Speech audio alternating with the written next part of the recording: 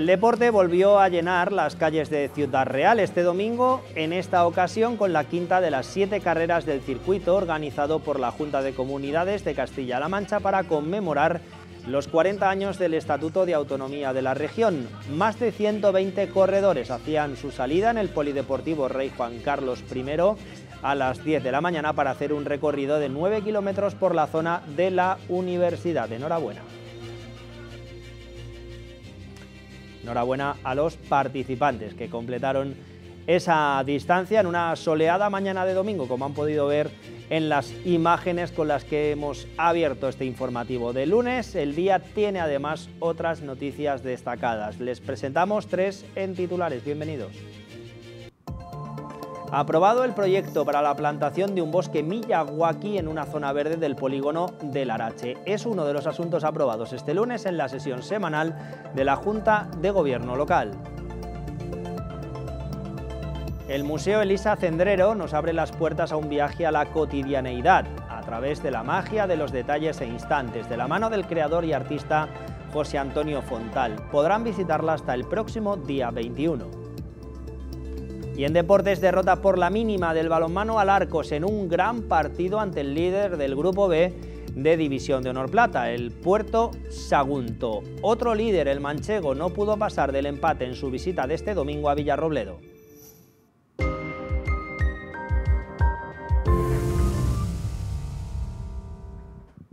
Vamos ya con el primero de los asuntos tratados esta mañana, este lunes, en Junta de Gobierno Local del Ayuntamiento de Ciudad Real, donde han pasado muchas cuestiones que tienen relación con esos fondos europeos Next Generation.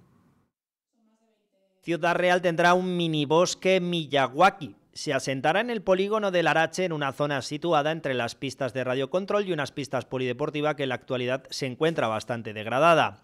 Será la primera zona verde de estas características que se cree en Castilla-La Mancha y la principal diferencia es que se realiza una plantación con mayor densidad para facilitar un crecimiento más rápido de las especies elegidas. Es un espacio degradado porque está sin, sin utilizar, esa zona es zona verde, pero no está ejecutada y queremos recuperar ese espacio, ¿no? darle más vida de la que ya tiene, porque sí que es verdad que es un espacio que, que se utiliza y, además pues lo, diseñamos como solución a, combatir ¿no? esas temperaturas que venimos sufriendo incluso en noviembre, ¿no? esas altas temperaturas que las ciudades además sufrimos más eh, por culpa del efecto isla de calor. Este proyecto parte con un presupuesto inicial de 71.755 euros, cofinanciados con los fondos europeos Next Generation, y no es la única cuestión relacionada con el plan de recuperación, transformación y resiliencia que ha pasado este lunes por la Junta de Gobierno local, y es que hasta el momento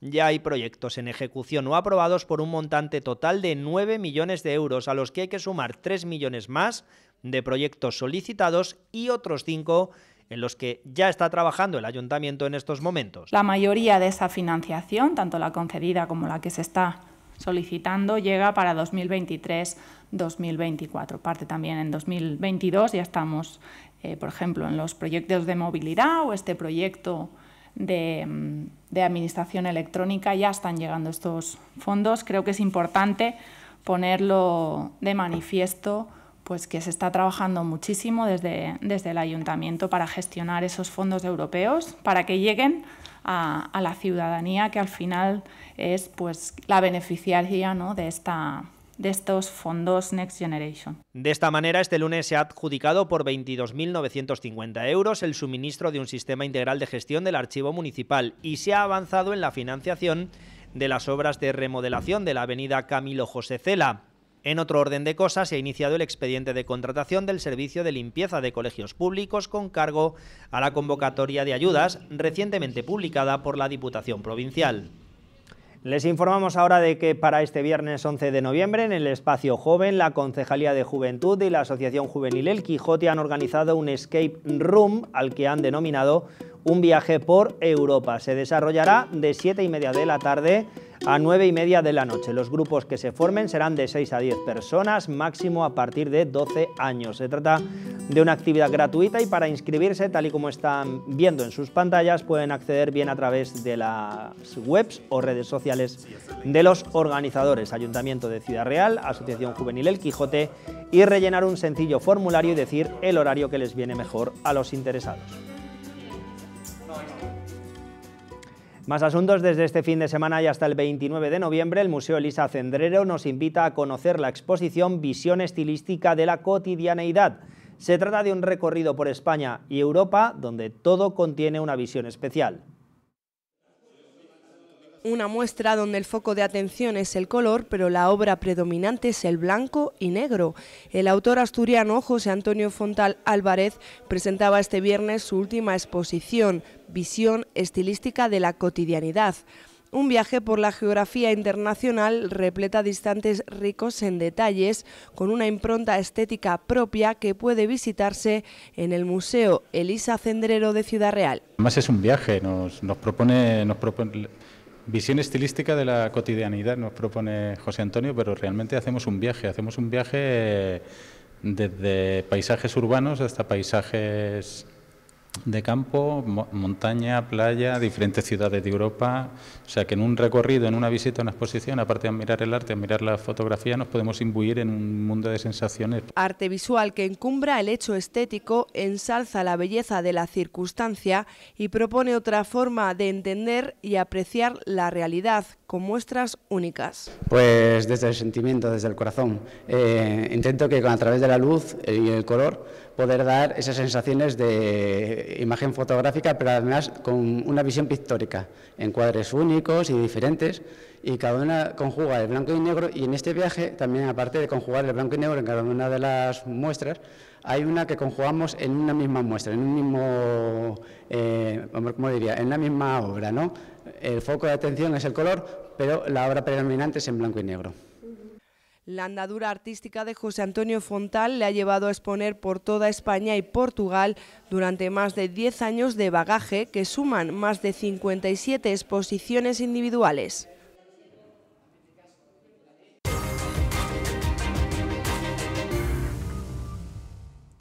Recuperamos la imagen con la que hemos abierto este informativo, la carrera 40 aniversario de Autonomía de Castilla-La Mancha, que se ha celebrado este domingo en Ciudad Real con cerca de 130 participantes.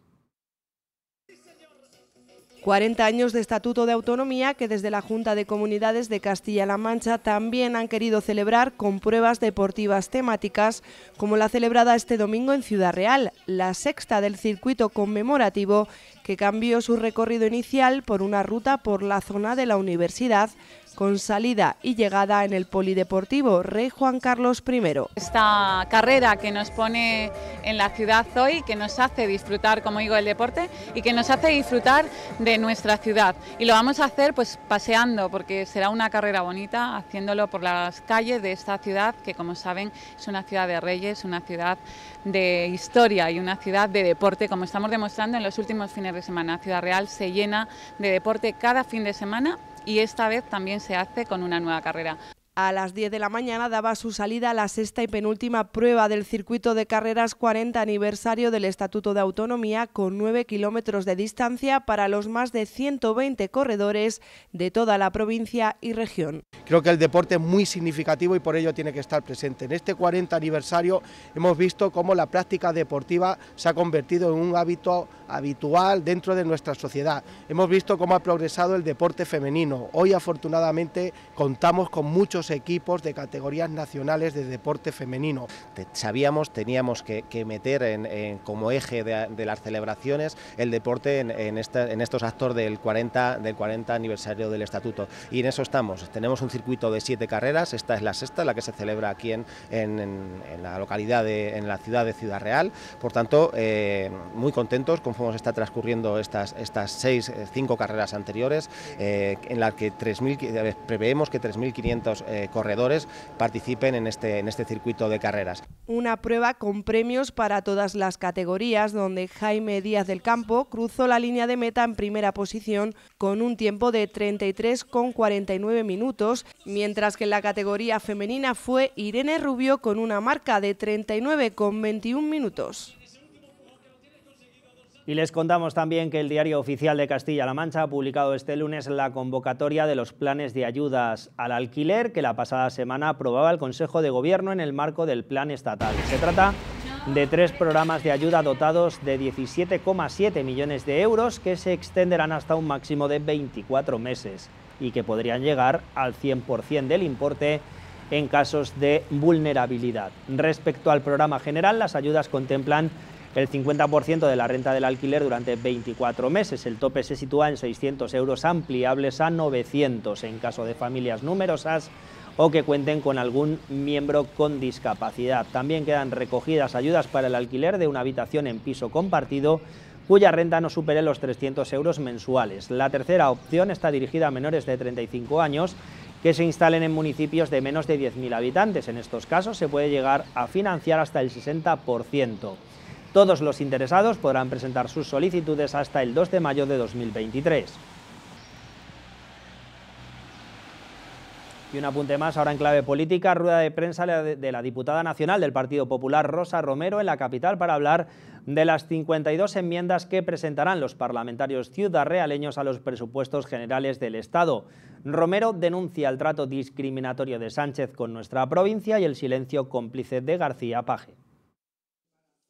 El gobierno de Sánchez castiga a Ciudad Real elaborando unos presupuestos para el ejercicio 2023 irreales que parten de previsiones erróneas. La diputada nacional del Partido Popular, Rosa Romero, lamenta el silencio de Paje y de los suyos y anuncia que el PP presentará en el Congreso un paquete de 52 enmiendas por importe superior a los 100 millones de euros para actuaciones importantes a realizar en nuestra provincia en materia de justicia, interior transición ecológica, seguridad social, transporte, movilidad y agenda urbana. Las variantes, la rotonda, SEPES y la rehabilitación de la Comandancia de la Guardia Civil y la rehabilitación del subsector de tráfico, en total serían 20 millones de euros las enmiendas que propone el Partido Popular para que esta inversión llegue a nuestra ciudad. Evidentemente, nuestra ciudad es también muy importante su conexión con Toledo, su conexión también con la eh, A43, pero especialmente con Toledo, con lo cual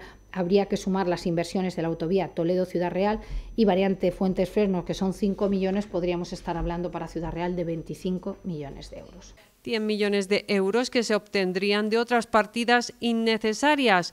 Romero ha puesto como ejemplo la eliminación del Ministerio de Consumo o el elevado gasto en asesores y altos cargos.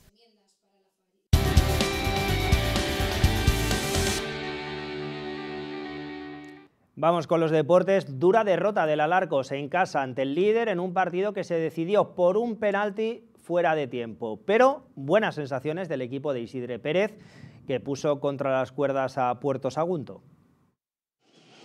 Llegó a perder por cinco tantos en la primera parte, pero lejos de dejarse ir por esa diferencia en el marcador, el balonmano Alarcos puso contra las cuerdas al líder del grupo B de División de Honor Plata, al que llegó a empatar el partido a falta de 40 segundos para la finalización, gracias a un 7 metros convertido por Didac Talens.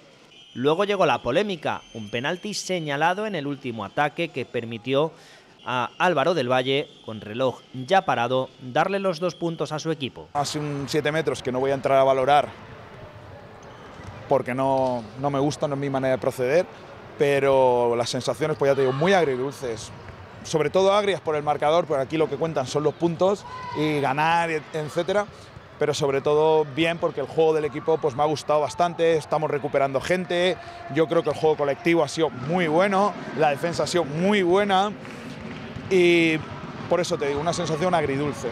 Más, más, agria que dulce, la verdad. Antes de eso, el Alarcos protagonizó un gran partido de balonmano ante un conjunto al que se le supone un potencial mucho mayor, mostrando el camino que debe seguir el equipo ciudad realeño para sumar puntos y conseguir la permanencia en la categoría. Jugando así, especialmente como lo hizo en la segunda mitad, llegarán las victorias. yo creo que el juego ha sido muy parejo y en línea general, lo que pasa es que en la segunda parte hemos atinado más de cara a portería y en la primera parte no. O sea, fallos claros de lanzamiento contra el portero y más contra un líder de división de plata que te viene invicto, no puedes perdonar. Si perdonas en balonmano de alta competición, si perdonas lo pagas. Dolido por la derrota, Isidre Pérez quiso destacar el trabajo de sus jugadores porque sin duda servirá para el futuro. Yo no puedo decir ni un pero de mis chicos porque lo han dado todo, todo, todo, todo hasta el final.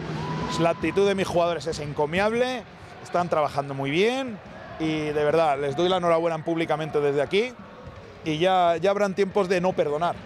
Son cosas que pasan y ya está. La próxima cita del Alarco será este mismo miércoles. Llega la fiesta de la Copa del Rey con la visita al Quijote Arena de un ilustre del balonmano español, el Atlético Valladolid. La eliminatoria se disputará a partir de las 8 de la tarde. Partidazo este miércoles en el Quijote Arena. Eso en balonmano. Y en fútbol el manchego no pudo obtener un nuevo triunfo a domicilio en Villarrobledo, pero mantuvo portería a cero por sexto partido consecutivo y eso le sirvió para sumar un punto que le mantiene en lo más alto de la clasificación una semana más.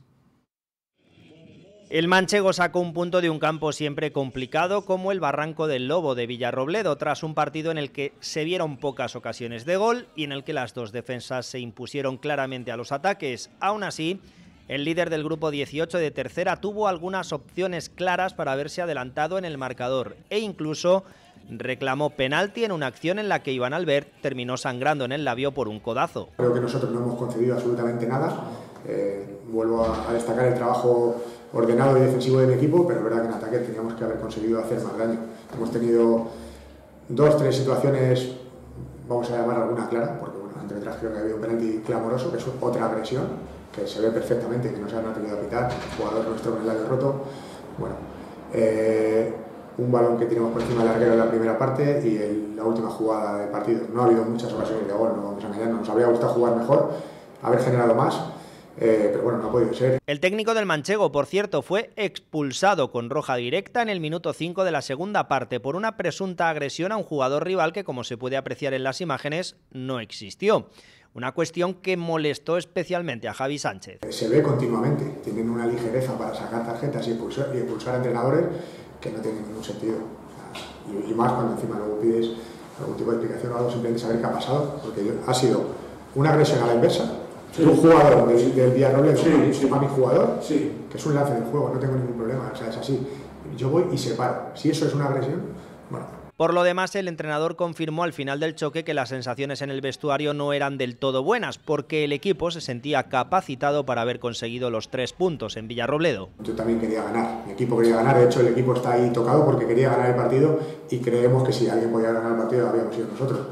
Pero no puede ser, y hay que valorar todo lo que se está haciendo, creo que la dinámica sigue siendo tremendamente buena, las sensaciones son buenas, eh, más allá de que queríamos ganar hoy, eh, no ha podido ser, sacamos un punto, seguimos sumando y esta es la línea. Otra buena noticia es que ninguno de los jugadores apercibidos de sanción por acumulación de amarillas vio la quinta, por lo que todos estarán disponibles para el esperado clásico del próximo 19 de noviembre frente al Calvo Sotelo. Pues así están las cosas en el manchego y ahora vamos a ver cómo están las cosas en cuanto a la previsión meteorológica. ¿Llega o no llega el frío?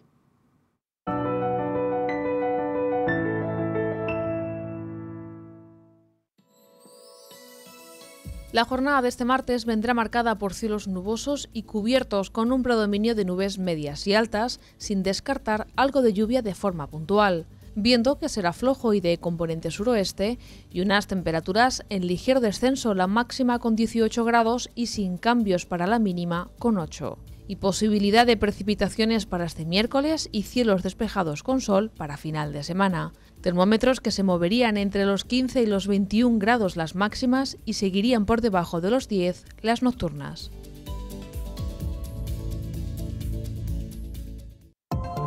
Aprobado el proyecto para la plantación de un bosque Miyawaki en una zona verde del polígono del Arache. Es uno de los asuntos aprobados este lunes en la sesión de la Junta de Gobierno Local. El Museo Elisa Cendrero nos abre las puertas a un viaje a la cotidianeidad a través de la magia de los detalles e instantes, de la mano del creador y artista José Antonio Fontal. Pueden visitarla hasta el próximo día 21. Y en deportes, derrota por la mínima del balonmano al Arcos, que en un gran partido ante el líder del Grupo B de División de Honor Plata Otro líder, el manchego, no pudo pasar del empate en su visita de este domingo a Villarrobledo.